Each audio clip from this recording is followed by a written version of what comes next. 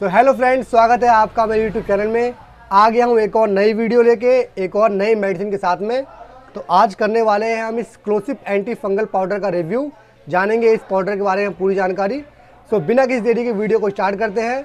और वीडियो को स्टार्ट करने से पहले, अगर आप मेरे चैनल पर नए आए हैं तो मेरे चैनल को सब्सक्राइब कर लें। साथ ही वो बेलाइकन भी आ रहा है, उसको भी दबा लें, ताकि अगले आने वाली वीडियो की नोटिफिकेशन आप तक पहुँच पाए। क्योंकि मैं इसी तरीके से मेडिसिन से रिलेटेड वीडियो लाते रहता हूँ। तो बस वीडियो को स्टार्ट करते हैं। सो फ्रेंड्स ये है वो मेडिसिन जिसका नाम है क्लोसिव एंटी फंगल पाउडर ये इसकी न्यू पैकिंग है। इसकी पुरानी पैकिंग ये है।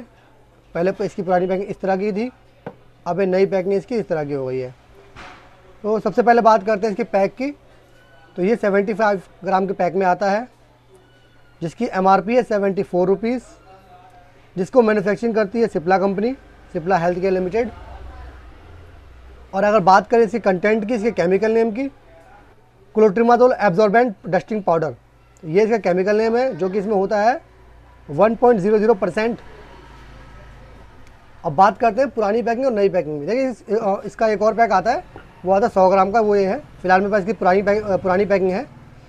तो अगर इसकी प्राइस की बात करें तो वो है एक सौ सोलह रुपये देखिए कुछ इस तरह की पैकिंग पुरानी वाली है और ये नई वाली है। अब इन दोनों फ़र्क ये है कि कंपनी इस पर कंटेंट नेम के मतलब केमिकल नेम और नाम के अलावा और कुछ नहीं लिखती थी। मगर अभी जो है ना, सब कुछ लिखा हुआ इसमें। एंटी फंगल पाउडर साथ में यहाँ पे लिखा हुआ है। देखिए, मैं दिखाता हूँ। Treat skin infection relieve itching prevent recurrence और चौथा लिखा हुआ है reduce speed of infection full cycle skin infection control formulation अब इन्होंने ये और नया इसमें लिख के दे दिया है, जबकि पहले की पैकिंग में ऐसा नहीं होता था। अब बात करते हैं, ये ये किस यूज़ में काम आती है, जो जैसा कि आपने देखा, यहाँ पे लिखा हुआ है इचिंग के लिए।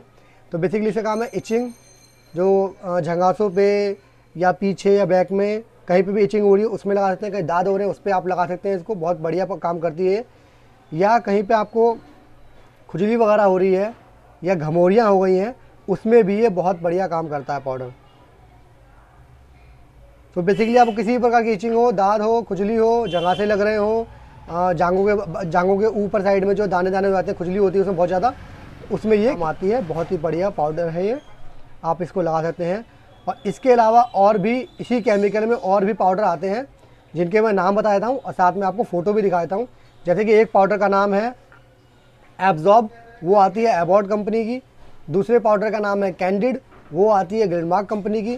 तीसरे पाउडर का नाम है माइकोड्रम सी वो आती है एफडीसी कंपनी की।